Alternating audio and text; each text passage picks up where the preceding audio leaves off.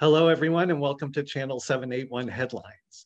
Bad news this week for an important local organization, Healthy Waltham, the nonprofit that hosts bi-monthly food pantries that feed about a thousand families at a time in Waltham, released a public statement saying that the city of Waltham will stop allowing the nonprofit to use municipal space for the pantry by March 31st at which that time the Healthy Waltham said they will plan to shut down unless they're able to find an alternate space. So we'll continue to keep an eye on that story for you.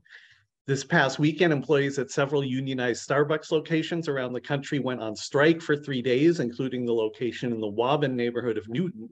The Starbucks in Waltham's Market Basket Plaza may soon join the list of unionized stores. Employees there have a date planned in January for a vote.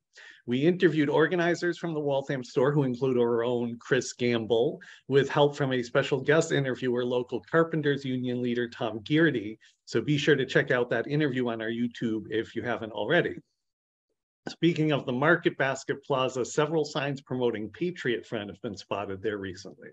Patriot Front is an explicitly racist and fascist national group that trains for violence and distributes propaganda targeted at white teenage boys.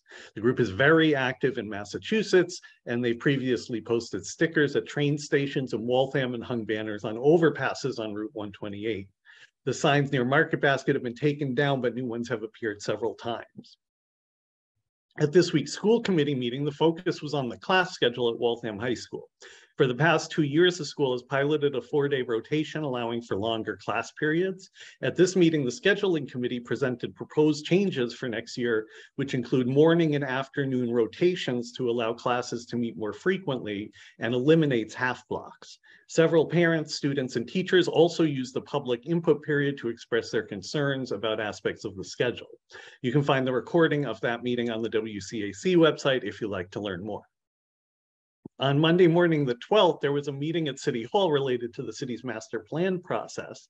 This one was not announced to the public. Instead, certain organizations were invited by email, and the master plan committee was not there. Attendees instead gave their input to City Hall department leaders. If you'd like to hear what they had to say, you can find a recording on our YouTube channel. You may recall back in September, the Master Plan Committee announced a series of eight public input sessions. The last one was supposed to be on November 29th, but it was postponed and a new date has not been announced. So it's not clear if the private meeting on the 12th was in place of that or if the public meeting will still be happening at some point.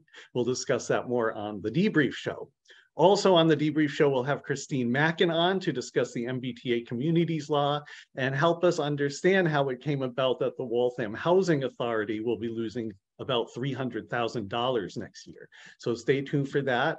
The City Council will be meeting this coming Monday evening. The License Commission will meet Tuesday evening, and that's all the public meetings we know about for the rest of December. This month's Critical Mass Bike Ride will be on the 31st in the Cedarwood area. You can check Waltham Reddit for more info on that or other community events. The next thing we post will be our debrief show, so stay tuned. Thank you.